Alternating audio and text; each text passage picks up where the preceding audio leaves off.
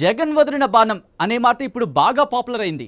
అయితే జగన్ వదిలిన బాణం ఎవరికి గుచ్చుకుంటుంది అన్న డిస్కషన్కి వస్తే మాత్రం పొలిటికల్ అనలిస్టులు పక్కాగా కాంగ్రెస్కే అంటున్నారు.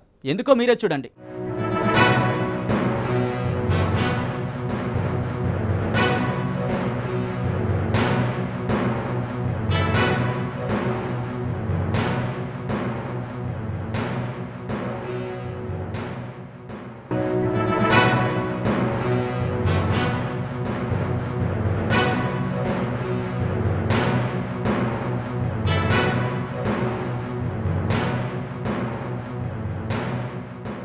షర్మిల రాజన్న రాజ్యం అంటున్నారు.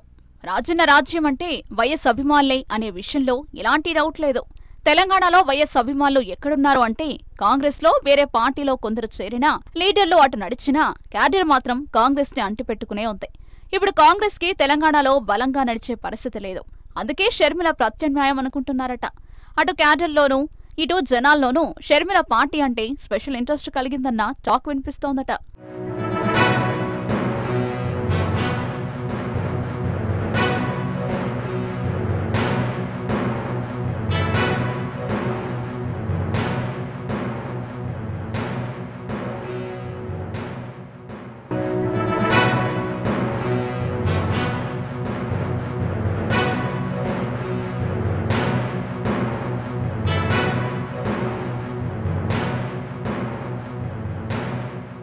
ఆల్రెడీ ఏపీలో కాంగ్రెస్ని ఖాళీ చేసింది వైసీపీ.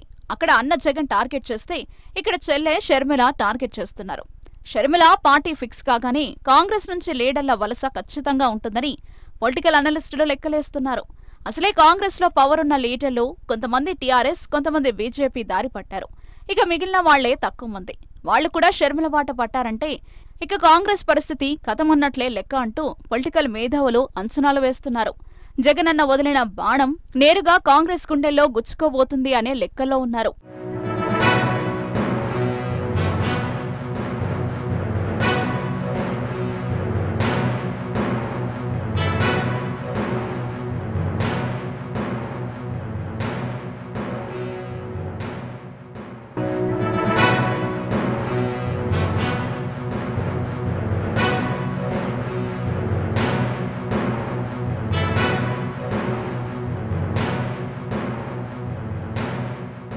తెలంగాణలోని వైఎస్సార్ అభిమానులు మద్దతుదారులతో భేటీలు నిర్వహిస్తున్న షర్మిలకు చాలా మంది పార్టీ ప్రకటనకైనా పాదయాత్రకైనా రెండు ముహూర్తాలను పరిశీలిస్తున్నట్లు చెప్తున్నారు.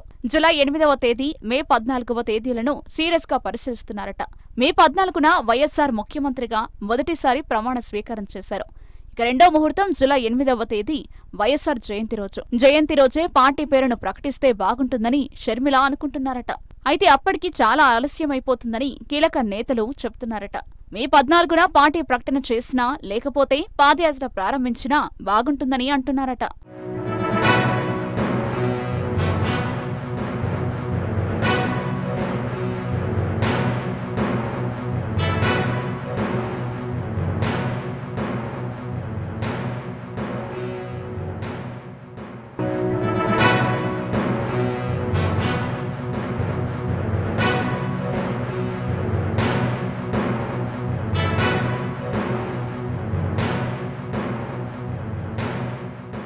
మరి టీ కాంగ్రెస్లో నుంచి ఎంతమంది పార్టీ వైపు కదిలి వస్తారో పార్టీ ఎప్పుడు ప్రారంభమవుతుందో వేచి చూడాల్సిందే.